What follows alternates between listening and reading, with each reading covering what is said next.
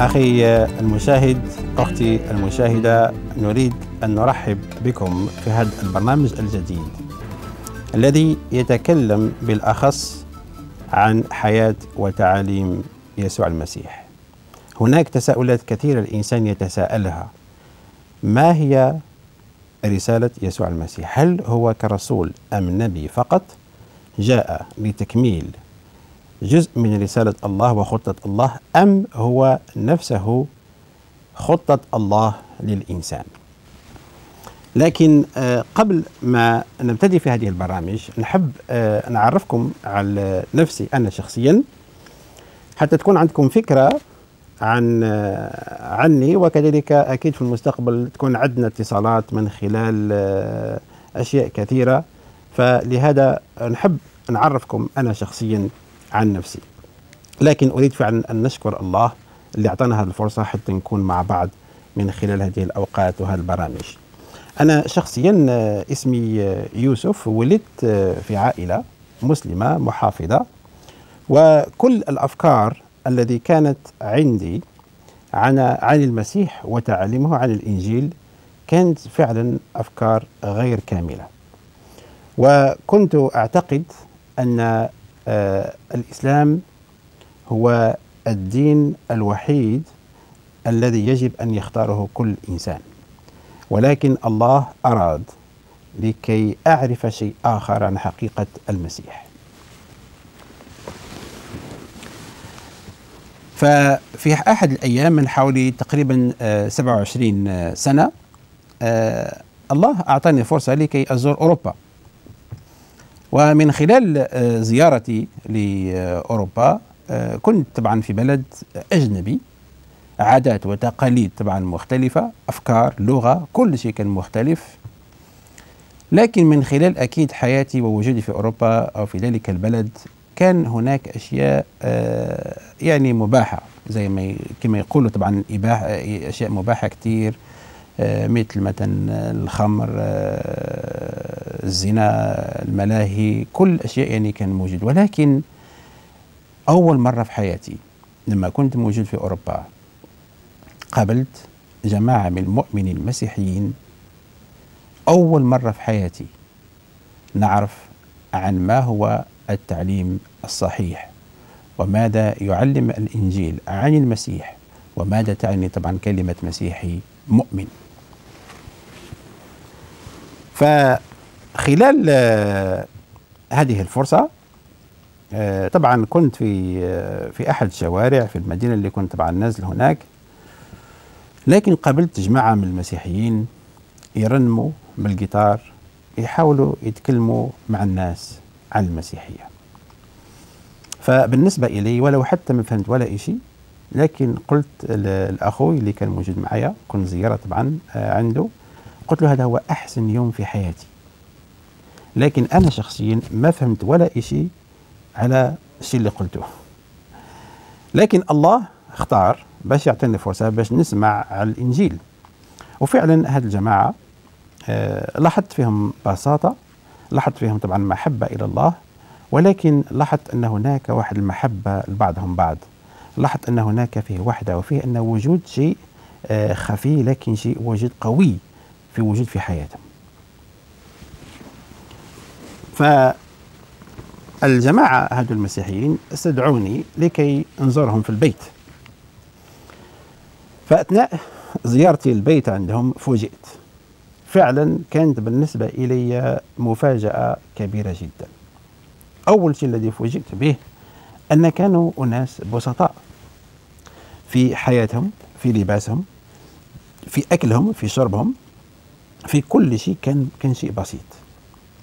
ولكن كذلك استغربت في أشياء كثيرة من جملة الأشياء طبعا اللي استغربت فيها. هم إنسان جماعة ما يشربوا دخان يعني ما يتكيفوش كما نقولوا إحنا عندنا بالجزائرية ولا بالمغربية. ما يتكيفوش ما يشربوش خمرة الخمر وما يروحوش طبعا الملاهي الليلية للديسكوتيك كما نقولوا الاشياء كثيرة ما يروحوش. فأنا تفاجأت وقلت قلت لهم أنتم علاش دايرين كما هكذا. قالوا لي يا اولدي إحنا مسيحيين مسيحيين مؤمنين. لكن قلت لهم ما هو الفرق؟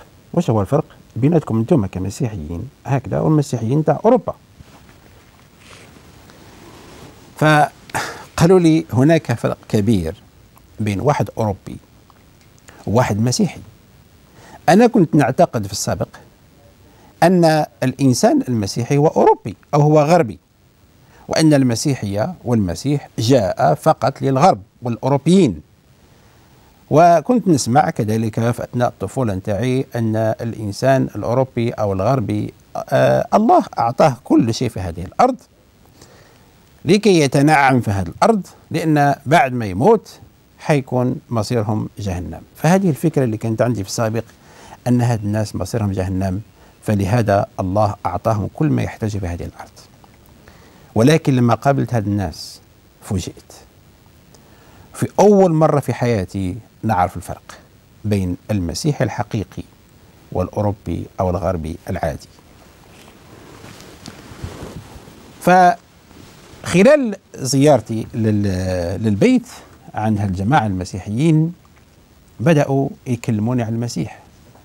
وقالوا لي أن هناك فرق كبير بين واحد مؤمن مسيحي اللي فعلا أختبر المسيح في حياته وبين واحد أوروبي غربي عادي. فقلت هل ممكن نعرف عن من هو المسيح؟ لكن الشيء طبعا اللي جذبني بقوة هو حياتهم لأن شفت فعلا حياتهم فيها قوة غير عادية. فيها آه، آه، شيء يعني خفي ولكن شيء قوي اللي أعطاهم طبعا هذه القوة لكي يتغيروا تغيير قوي من الداخل وظهرت طبعا الفواكه نتاع الحياة نتاعهم الإيمان نتاعهم في الخارج. فاختبرت وجدت في حياتهم سلام فرح وحدة حقيقية. وجدت كذلك في حياتهم أن هناك محبة في وسطهم ولكن هناك كذلك محبة الله في حياتهم ككل. فقالوا لي وعرفوني طبعا عن ما هي رسالة المسيح ولماذا جاء المسيح على هذه الأرض. لكن بعد ما سمعت عن المسيح أنه فعلا جاء لكي يخلص الناس من عذاب جهنم لكي ينقذنا من عذاب جهنم ولكن المسيح كذلك جاء باش يكفر باش يخلص على الذنوب نتاعنا. ويطهرنا من الداخل ويعطينا فعلا حياة قوية حياة فيها سلام فيها ثقة فيها يقين فيها رجاء. فعرفت أن فعل المسيح هو كانت عنده رسالة أعظم من هي كرسالة نبي أو رسول. لكن أنا شخصيا طبعا كجزائري لازم آه، كان عندي تساؤلات كثير. من جملة التساؤلات اللي كنت نسألها هل فعلا أن الإنجيل محرف؟ هل المسيح هو ابن الله؟ ماذا تعني كلمة أناجيل الأربعة فكانت عندي تساؤلات كثيرة ولكن بدأت أن أقرأ في الإنجيل وفي الكتاب المقدس. فمن خلال قراءتي للكتاب المقدس من خلال قراءتي للإنجيل عرفت ما هي خطة الله للإنسان. عرفت أن فعلا الإنسان الله لما خلق آدم وحواء وضعهم طبعا في جنة عدن وأوصاهم بأن يأكلوا من جميع فواكه الجنة إلا شجرة معرفة الخير والشر لكن عرفت أنهم طبعا أعصوا الله وأكلوا من تلك الشجرة. فنقول بما يسمى طبعا ما نسميه في الكتاب المقدس هو تم الخطية سكن في حياتهم. وإحنا كأناس مهما كانت جنسيتنا مهما كان اللون تاع البشر نتاعنا مهما كانت ديانتنا إحنا ورثنا تلك الخطية.